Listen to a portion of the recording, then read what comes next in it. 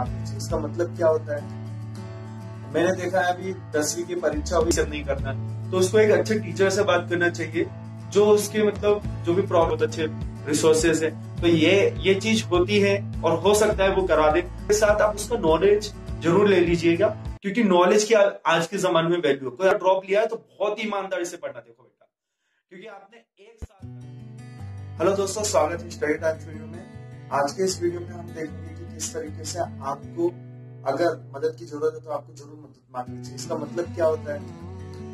मैंने देखा है अभी दसवीं की परीक्षा हुई, बोर्ड एग्ज़ाम, बारहवीं की परीक्षा हुई, बच्चे को आगे की परवाह होने लग जाती है। उसको आज तक भले से मतलब ग्यारहवीं में कौन सा सब्जेक्ट चाहिए? ट्वेल्थ के बाद किस कॉलेज में जाना है? कौन सी परीक्षा दी है उसने और उसमें कैसे रैंक उसकी लग रही है? तो उसको कौन सा कॉलेज में जाना चाहिए? तो यहाँ पे बच्चे को बिल्कुल परेशानी होना चाहिए। उसको कोई एक अच्छे गुरु के पास जाना चाहिए, जिससे कि वो सारा जो भी उसका प्रॉब्लम है, वो बताए और वो उसका सोल्यूशन उसको मिल जाए। ठीक है? जैसे कि अगर टेंथ पास है और कई बार ऐसा होता है कि उसको पीसीएम में उसके मार्क्स तो अच्छे आ रहे पर उसको पीसीएम नहीं करना तो उसको एक अच्छे टीचर से बात करना चाहिए, जो उसके मतलब जो भी प्रॉब्लम है उसको सॉल्व कर पाएगा।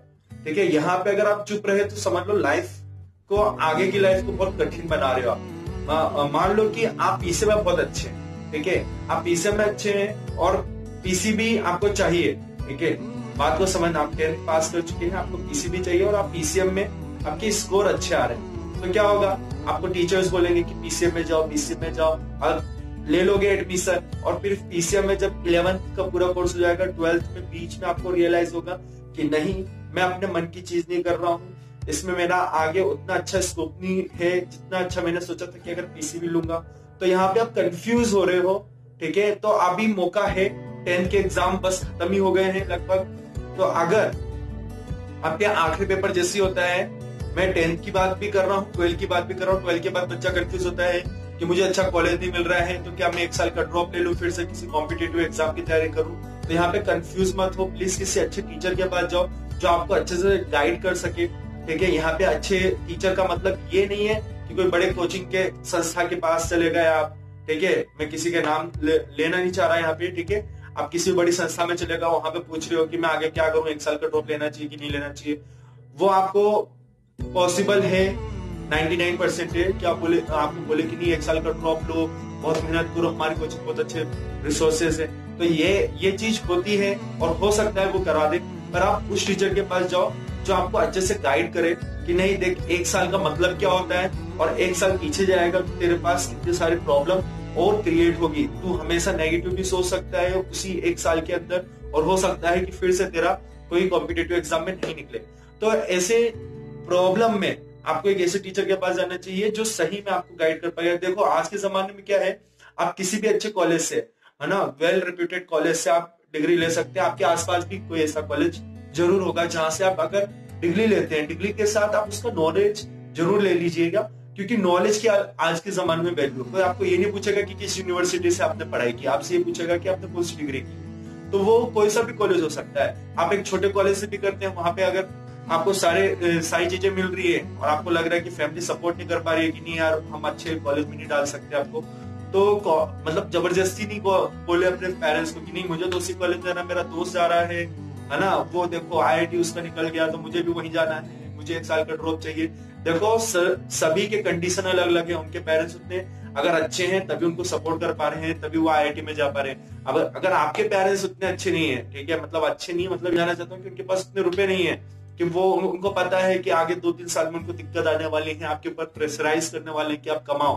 तो ऐसे बच्चे को अपने पेरेंट्स की बात सुन लेनी चाहिए और एक अच्छे टीचर के पास पास जाके उससे सारी ये प्रॉब्लम शेयर करनी चाहिए कि देखिए, मेरी फैमिली की प्रॉब्लम ऐसी है अगर एक साल का ड्रॉप लेता हूँ तो मेरे मतलब फैमिली वाले कितने परेशान हो जाएँगे, क्योंकि वो एक साल फिर ये सोचेंगे कि एक साल डिले हो गया और उनकी हेल्प जो मिलने वाली थी एक बच्चे से, वो नहीं मिल पा रही। ठीक है? तो यहाँ पे एक साल का ड्रॉप बहुत बड़ा बर्डन हो जाता है किसी फैमिली के लिए जहाँ पे बच्चा, बच्चे पे डिपेंडेंट है तो उसके फैमिली वाले की नहीं, एक दिन बच्चा बड़ा होगा हमारी मदद करेगा अच्छे से।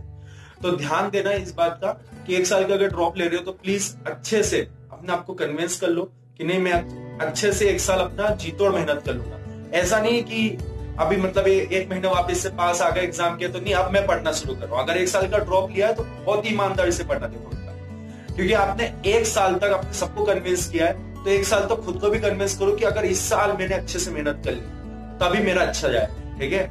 और जो टेंथ के पा, पास हो चुके हैं उनको सब्जेक्ट ऑप्शन लेने में दिक्कत आ रही है तो प्लीज़ चार दिन पाँच दिन लगा लो।